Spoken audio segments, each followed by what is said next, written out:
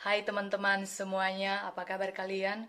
Hari ini rencana saya mau buat opor ayam. Dibilang opor ayam, ada DP bawang goreng. Eh, dan saya pakai cabai rawit. Seharusnya cuma pakai mungkin cabai merah keriting bisa juga atau eh, rica jawa. Mau dibilang ayam buku kemangi, dia punya kemangi, teh ada ya. Dan dia punya daun kunyit teh ada. Jadi kita lihat ini akan jadi seperti apa menu makan malam.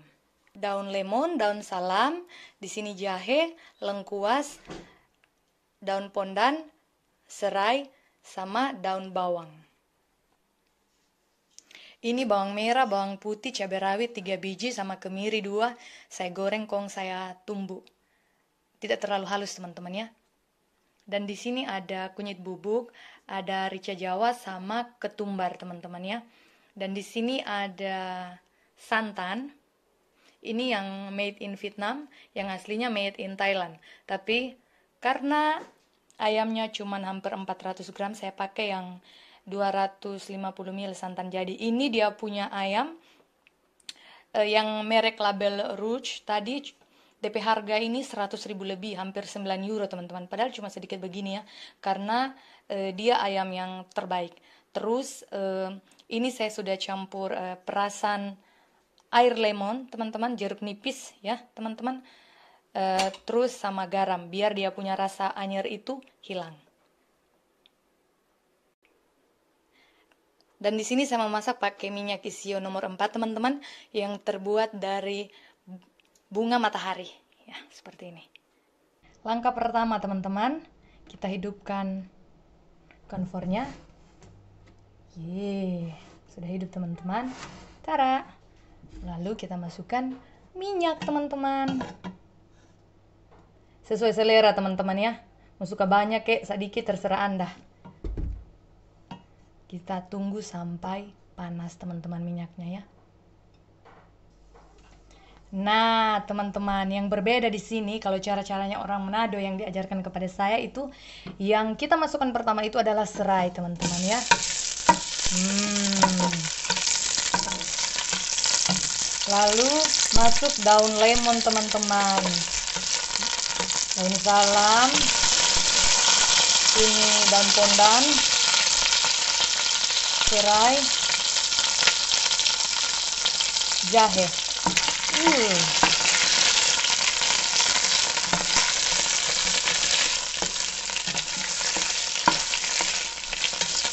Seperti ini teman-teman, ya kan?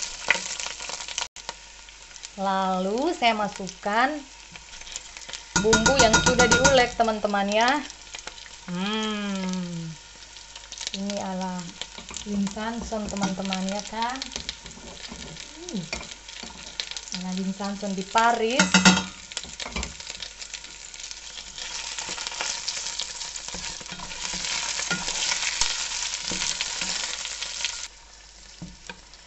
Pokoknya teman-teman sampai bumbunya benar-benar matang teman-teman ya biar tidak ada bau-bau anyer. Nanti sedikit lagi baru saya akan masukkan kunyit teman-teman. Sekarang teman-teman saya akan masukkan kunyit secukupnya saja. Ya kira-kira saja teman-teman ya. Diperkirakan terus ketumbar masuk diperkirakan juga sesuai selera teman-teman ya.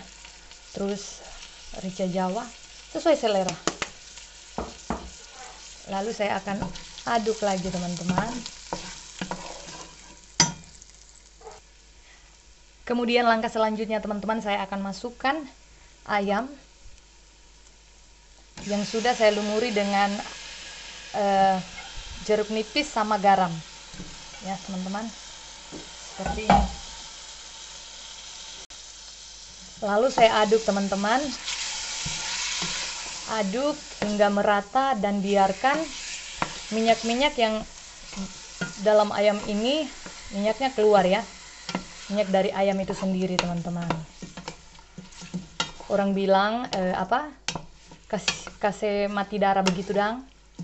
Jadi sebenarnya kalau kalian ingin kalian bisa goreng hanya sebentar ayamnya, sebentar saja. Tapi kalau saya tidak perlu ya, seperti ini saja.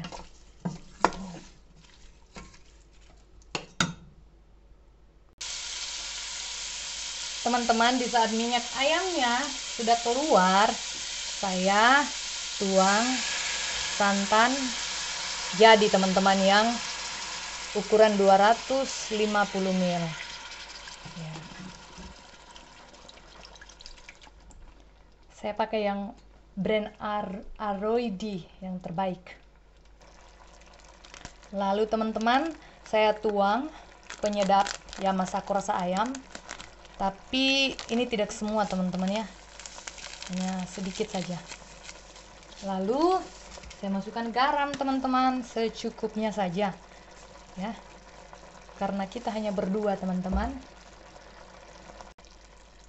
Lalu teman-teman saya tuang air secukupnya dan sampai bertemu mungkin 30 atau 45 menit kemudian teman-teman ya. Pokoknya sampai ayamnya masak.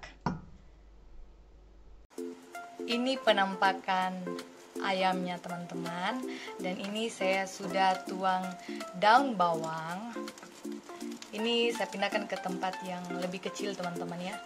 Karena ayamnya sedikit. Ini penampakan ayamnya teman-teman. Sekarang saya mau angkat dan konfornya saya sudah matikan. Ya teman-teman, jadi seperti ini penampakan ayamnya. Hmm, dia punya daun bawang masih segar teman-teman ya. Dan ini adalah makan malam kita teman-teman. Dan kita minta Om Bule untuk uh, memberi nilai teman-teman ya. Apakah dia suka atau tidak suka atau biasa saja. Nah, teman-teman, sekarang Om Bule harus mencoba masakan ini ya. Hmm, saya sudah siapkan nasinya dan ayamnya beserta anggur merah ya. Kita dengarkan. Apa pendapat Om Bule? You like it? Hmm. Enak? Enak. Sudah. Very very enak or no? Sudah. From 1 to 10, please.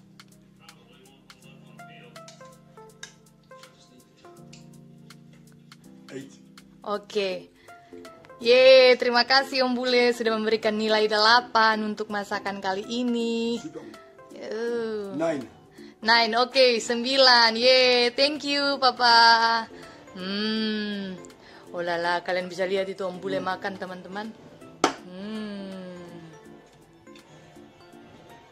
Enak. Hmm. Ya, ada daun pondan tadi atau daun salam. Hmm. Don't forget to subscribe. Yeah. Like and comment. Say bye-bye teman-teman. Bye-bye teman-teman. バイトのために。